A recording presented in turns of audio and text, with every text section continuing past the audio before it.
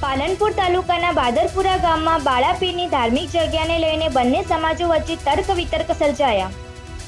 વીસ ઘરના લોકો દ્વારા ઉચ્ચ કક્ષાએ રજૂઆત કરવા છતાં વહીવટી તંત્રના અધિકારીઓ ઘોર નિંદ્રામાં. પાલનપુર તાલુકાના બાદરપુરા કાલુસણ ગામમાં આવેલ બાળાપીરતની ધાર્મિક સ્થળની બાબતમાં બંને મુસ્લિમ સમાજ દ્વારા વિખવત સર્જાતા જાગૃત નાગરિકો દ્વારા અનેકવાર તંત્રના અધિકારીઓને જાણ કરવા છતાં પણ કોઈ પણ પ્રકારની કાર્યવાહી કરવામાં આવી નથી.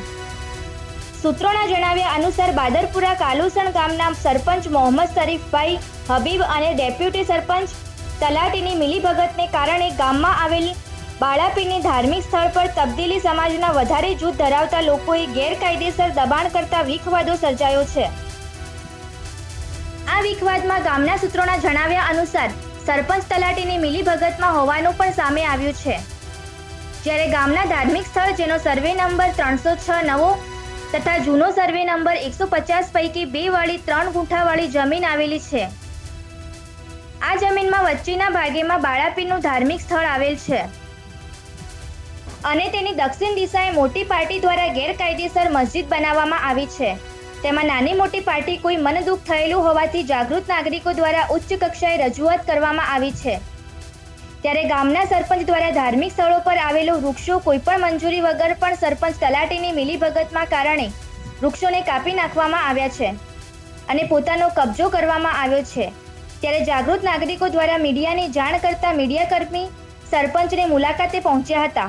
ત્યારે સરપંચે જણાવ્યું કે અમારા ગામમાં કોઈ પણ પ્રકારના બંને મુસ્લિમ સમાજો વચ્ચે વિખવાદ ચાલતો નથી અને વૃક્ષ આપવાની બાબતમાં ચોખ્ખો ના પાડી દેવામાં આવ્યો છે. જે વૃક્ષો ભારે વાવાઝોડાને કારણે નમી પડતા તેમને ખસેડવામાં આવ્યા છે. જ્યારે ગામના લોકોએ એવું જણાવ્યું છે કે સરપંચ અને તલાટીની મિલીભગતને કારણે બાળાપીરની સ્થળ પર આવેલા વૃક્ષો જીસીબી લાવીને સ્થળ ઉપરથી દૂર કરવામાં આવે છે. અને ગામમાં બંને અલગ અલગ સમાજમાં વિખવાદ ઊભો કરવાનું મુખ્ય કારણ ગામના સરપંચ પોતે છે, તેવું ગામ સૂત્રોએ જણાવ્યું છે.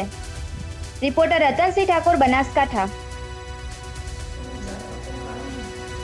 કોઈ કાપ્યા નથી. કે વરસાદનું તોફાન આવ્યું હતું. નમી ગયું હતું. ડેન્જર પોઝિશનમાં હતા. એમ ટ્રસ્ટીઓનું કહેવું છે કે એ લોકો ઝાડ કોઈના પર પડી જાય એમ હતું, એટલે એ લોકોએ એને પાડી અને ઠેકાણે કર્યું.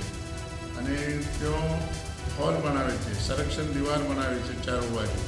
અને એ હિસાબથી અને વધારના હિસાબથી નમી ગયું હતું, તો એને ક્લિયર કર્યું છે. બાકી કંઈ નથી. અને પચાસ ઝાડ બીજા વાવવાના છે. એક ઝાડના બદલામાં પચાસ ઝાડ દ્રષ્ટિઓને બાંયધરી આપી છે કે અમારી સંરક્ષણ દીવાલ થાય તો આજુબાજુ અમે પચાસ ઝાડ વાવશું. એમાં કોઈ વિવાદ નથી ને કંઈ ખોટું કામ નથી. હું પંચાયતમાં બેઠો છું, પૂરું ધ્યાન આપું છું.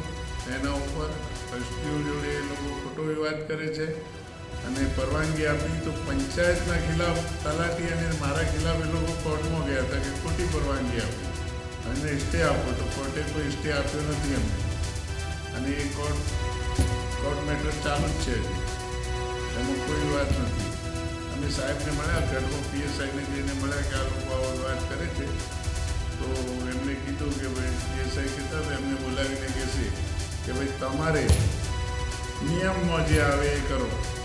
એમ કંઈ કોર્ટમાં જાઓ, કલેક્ટરમાં જાઓ, કંઈ સ્ટે મળે તો ઠીક છે, તમારા નામ પર કંઈ હોય તો બતાવો. જગા પર કોઈ લફડું કરવું નહીં જગા પર કોઈ વિવાદ કરવો નહીં ટ્રસ્ટની જગા છે પંચાયતે મંજૂરી આપી છે અને ટ્રસ્ટી કામ કરે છે. ઓકે આંબેડકર તાલુકા ગામના વ્યક્તિ છું મારું નામ વિષ્ણુભાઈ જુનિયર છે અમારે બાળાપી ગામનો ઝઘડો ચાલી રહ્યો છે છેલ્લા બે વર્ષથી અને ઉચ્ચ કક્ષા લેવલે અભિપ્રાય કરી કે કલેક્ટર સાહેબ મામલતદાર સાહેબ સરપંચ સાહેબ એ બધી સરપંચ સાહેબ ને તલાટી અને નવી નવી બધું કામકાજ થઈ રહ્યું છે. અને અન્ય સમાજ બધી એક છે એમને ઉઠાઈ મુસાફરી મોમીન જમાત પણ એમની વિચારધારા અલગ છે. તબલીગી જમાતમાંથી અને મુસાફરી મોમીન જમાત અમારા વીસ ઘર આવેલા એમના પાંચસો ઘર આવેલા. એ લોકોને અમે હેરાન પરેશાન અભિપ્રાય છે. જો અંદર જઈએ છીએ તો બાળાપીરના અંદર ચિરાગી રોશન કરીએ છીએ તો એ લોકો પથ્થરબાજી કરે છે અમારા ઉપર. અને ઝાડ બી આવેલા હતો. એ ઝાડ બી અંદરથી કાપી નાખ્યા. અને એ લેવલ બી અમે મામલતદાર સાહેબને અરજી આપી નથી. મામલતદાર સાહેબને હજુ સુધી કોઈ એક્શન લીધું નથી.